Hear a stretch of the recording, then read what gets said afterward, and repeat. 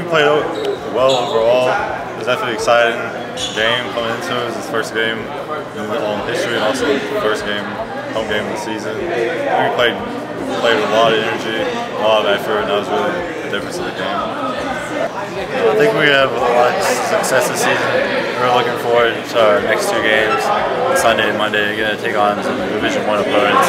I think that will really let us gauge where we're at and know where we can be at going forward.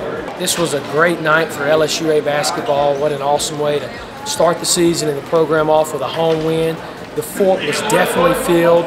Our guys felt the energy. They all came out and played with passion and togetherness. It was just a great team thing, a great win for us, and we're looking forward to playing again on the road and at home and just building off this first game. This victory was awesome tonight played with some fire. They wanted to come out and represent. We always talk about the LSUA way, and it was nice to see their fellow students and their friends in the crowd. And, but uh, we always talk about playing for the men in our locker room and not getting you know outside of what we do and playing together and being unselfish. Very, very proud of the team and all the uh, the effort that they brought and they played. I thought it was a good 40-minute game.